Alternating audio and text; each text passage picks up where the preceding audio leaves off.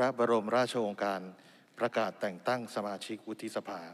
พระบาทสมเด็จพระปรมินทรมหา รามาธิบดีศรีสินทรมหาวชิราลงกรณ์พระวชิรเกล้าเจ้าอยู่หัว พระบาทสมเด็จพระปรเมนทรรามาธิบดีศรีสินทรมหาวชิราลงกรณ์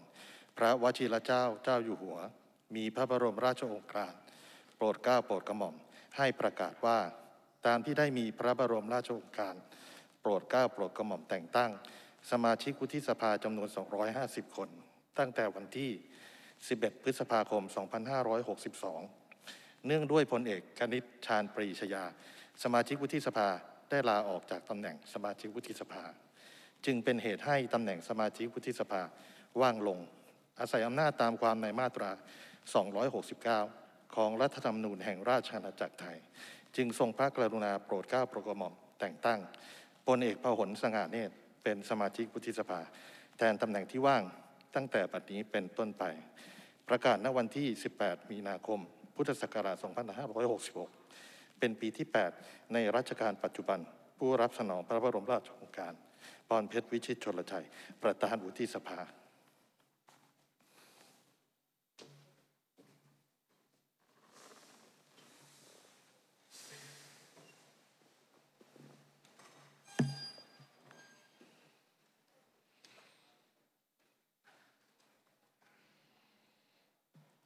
ท่านสมาชิกครับ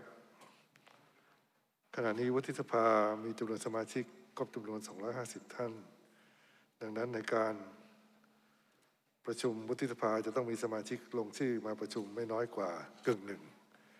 ของจำนวนสมาชิกทั้งหมดเท่าที่มีอยู่ คือตั้งแต่ 125 ท่านขึ้นไป จึงจะเป็นองค์ประชุมนะครับ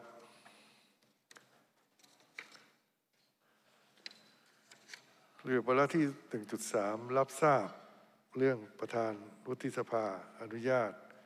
ให้ขยายเวลาการพิจารณาของคณะกรรมาธิการสามัญเพื่อทำหน้าที่ตรวจสอบประวัติความประพฤติ และพฤติกรรมทางจริยธรรม ของบุคคลผู้ได้รับการเสนอชื่อ ให้ดำรงตำแหน่งกรรมการป้องกัน และปราบปรามการทุจริตแห่งชาติ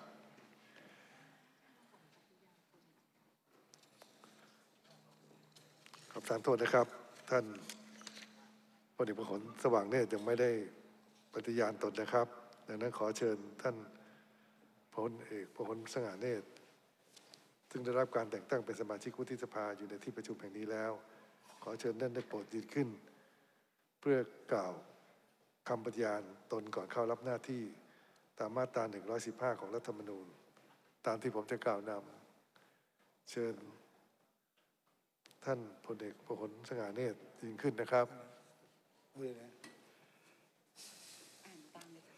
ข้าพเจ้าพลเอกพหลสง่าเนตร ขอปฏิญาณว่าข้าพเจ้าจะปฏิบัติหน้าที่ด้วยความซื่อสัตย์สุจริต เพื่อประโยชน์ของประเทศและประชาชน ทั้งจะรักษาไว้และปฏิบัติตาม ซึ่งรัฐธรรมนูญแห่งราชอาณาจักรไทยทุกประการ ครับ ขอบคุณครับ เชิญนั่งครับ